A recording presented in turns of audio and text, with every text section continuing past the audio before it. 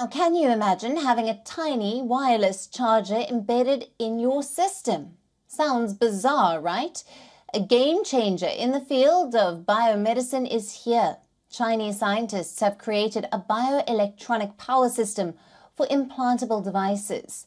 Researchers at Lanzhou University in China have crafted a wireless biodegradable energy device. The device functions like a tiny power station.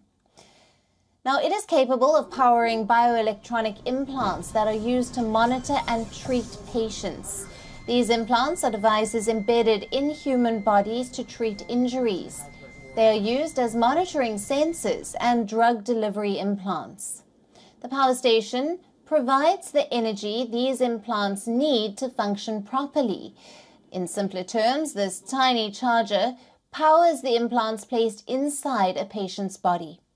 The wireless charger is made of things that are already present in our bodies, like magnesium and zinc. It dissolves within two months and can help deliver medicine to the right places in the body.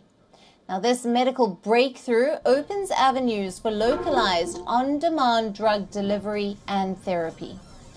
It's during uh, this medical trial, the implant effectively reduced fever in rats, showcasing its potential for controlled drug release.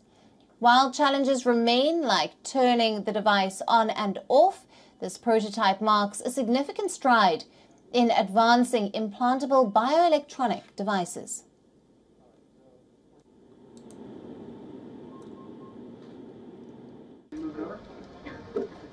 You good?